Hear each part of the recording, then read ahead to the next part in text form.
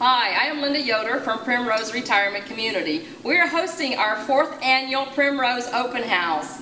Car show will be on Saturday, July the 28th, 10 to 2. We're going to have a live band, music, food, great cool drinks, awards will be given, door prizes. All the proceeds will be going to the Riley Children's Hospital. Hope you can come and be entertained by us.